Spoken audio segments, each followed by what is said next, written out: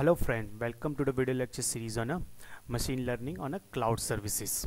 So till now we have created one experiment on a Microsoft Azure machine learning uh, platform. So let's start our first step for machine learning system design. So very first step will be a, we require a data. So for data purpose Azure is providing a lot of different options like uh, you can enter data manually you can import those data you can import those unpacked zip data. Plus apart from that there are a lot of saved sample data set available for your experiment and pur purpose. So let's try to see couple of one actually. Let's see about uh, simple one. Breast cancer data. So if you just double click it will come here. Okay. So once you imported those data you just need to run it or you need to visualize it. So it will automatically download those data and it will create a visualization for us. Okay so it has downloaded the data for us. So it has given a very nice visualization for us. Almost it has a 3 and a 8 total columns. The first one is actually class whether 0 may be for a malignant or uh, 1 is for the benign class actually for the breast cancer. Uh, the second one is the age. Let's try to see some more feature about it.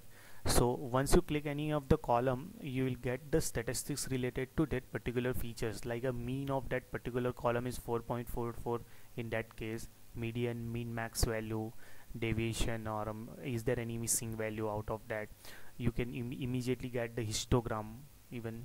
You can compare those particular column with another column to find the correlation that how much correlated one feature with another feature.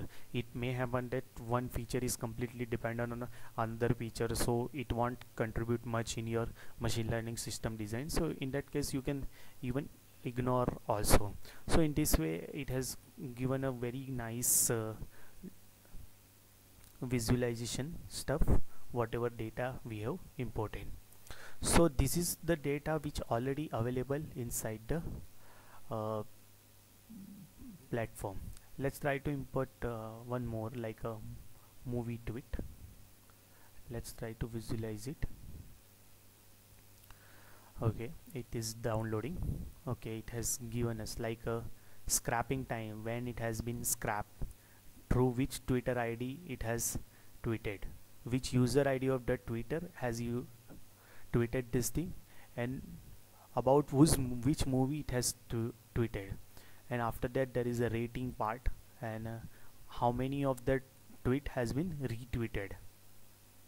So this is all about whatever the datas were available inside the machine learning. Let's try to see uh, whether we can import data externally or not so there is one more module like uh, enter data manually. Okay.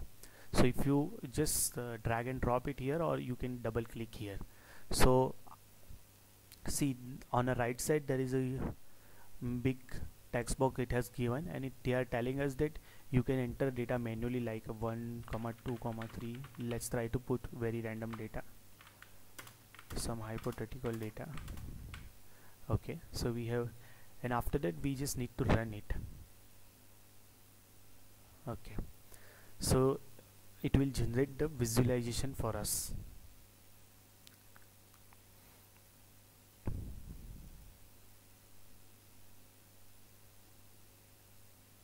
Okay. See whatever the manual data we have imported it has taken into account. The first column is always mean is 1 and I have uh, put it very uniform kind of in data. Okay. So this is all about uh, whatever the data were uh, available as a sample data set inside the machine learning Azure platform. We have data entered data manually also.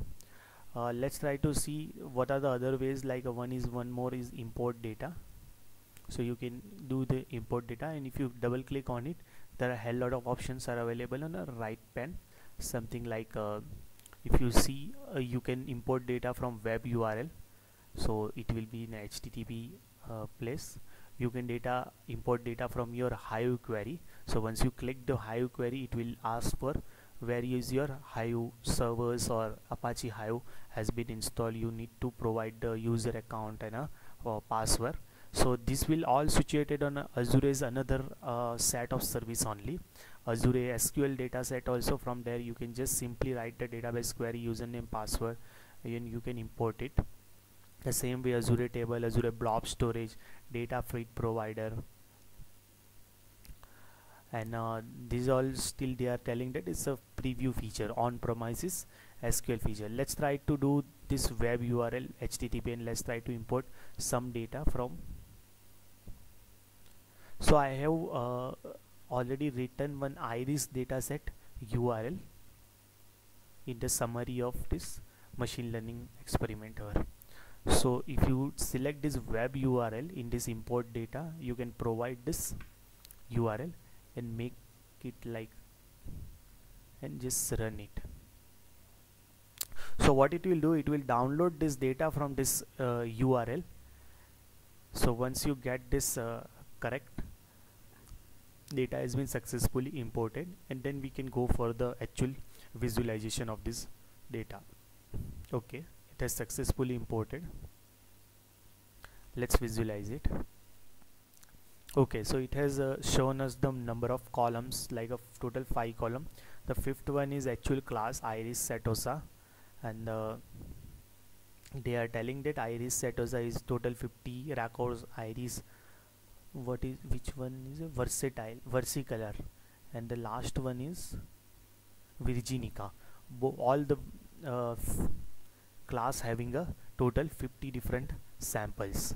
So that is a they haven't given this column 1 column 2 uh, name actually. It might be like a sepal length sepal width and a petal length and a petal width.